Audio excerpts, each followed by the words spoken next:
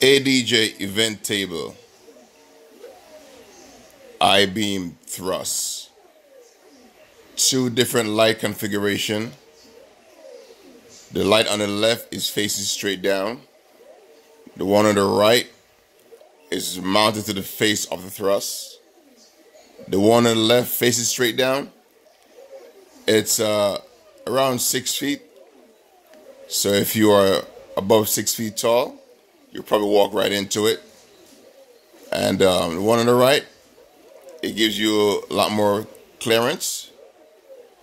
I will have a more detailed video coming on real soon, how to take it apart and how easy it was to put together. But until then, one love, love life and live. DJ Naturalist.